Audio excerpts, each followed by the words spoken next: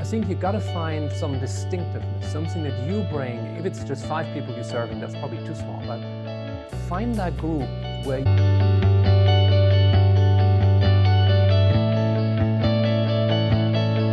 And we go live.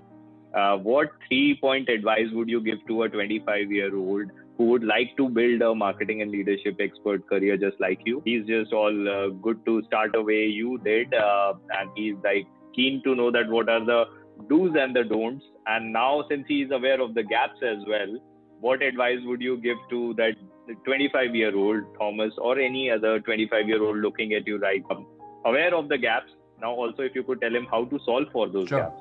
Yeah, I mean, first off, um, when I was 25, I, I had no idea that I would be a, marketing leadership expert. That, that that's not that was not on my radar, right?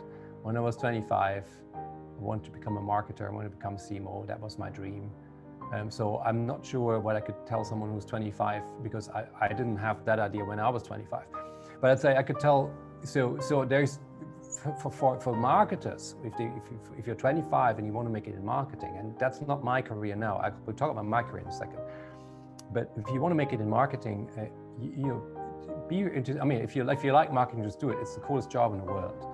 Just understand that there is one part of your job is technical marketing and you dive in, you know, get good at this.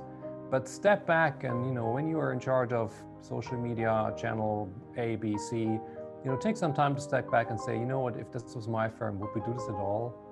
Or should we rather make some flyers and hand them out? Uh, I mean, you gotta you gotta have that mindset because marketing marketing is a is a lifelong A/B test. You you won't know what works, right?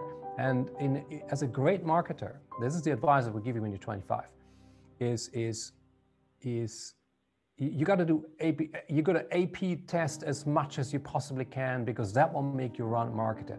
You, you TV advertising versus lowering the prices versus going into new some new distribution channels versus tweaking the product. You know the A/B test. What's better?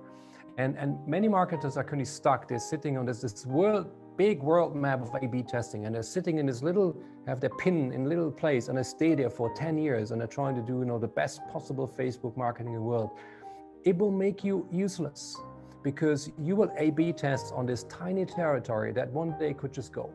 So you got to branch out and see how much A-B testing goes in because marketing is applied science. No matter what we talk about, you know, we can't prove this stuff. I mean, all the books, you know, I mean, you could. It's all much about the detail, right? So, so if I you're 25, I would say there's a big map of A/B testing in this world. Go out there, and try to do as many different things as possible in marketing. The other thing I would say is if you can, don't start in marketing. You know, if you can, spend some time in sales, spend some time in operations, because then you go back into marketing, obviously, wow, you know, that's just, I know all these people, and and then you have more power. You know, that's another tip. Now, then I can give a tip for people who want to become an entrepreneur and branch out and build their own thing, and that's that's very different. And I have to say, I got a great piece of advice when I started out. Um, there was one uh, McKinsey director, and uh, but he gave me one piece of advice. He said, you know, when you're branching out and you're doing your own thing now, which you can, which is which I can see why you like doing that. Find your distinctiveness. Find something that is that is that is very distinctive. And that's hard because you think, yeah, but if I'm going into this little niche of leadership in marketing, you know, all of a sudden my target will become so small, right? Because 99% of marketers don't care about leadership, they look at digital. And now I'm the one that goes out and talks leadership is a niche thing. You know, also it's for marketers. So if you're in HR, you probably won't read my book. And if you are in sales, you won't reach my book. So you, you have to be a marketer in typically a company. That makes me a niche. Um, and this has a lot of downsides. You know, you, you're not getting shared four million times for something because it's a niche. But you know what? The flip side is there are literally thousands of people who who who write who read everything I do, and then who who, who feed back and say this has worked, this is amazing. So I think you got to find some distinctiveness, something that you bring um, and if it's a small, I mean, it doesn't, if it's just five people you're serving, that's probably too small. But find that group where you work is really valued. And I think that's a great base. And you can branch out from there. And that has been the most powerful advice I was ever given. By the way, Thomas actively writes on his blog, and it has a very unique name called Try This Blog. Uh, please do That's check right. it out. I think you will find some very insightful uh, things about marketing leadership.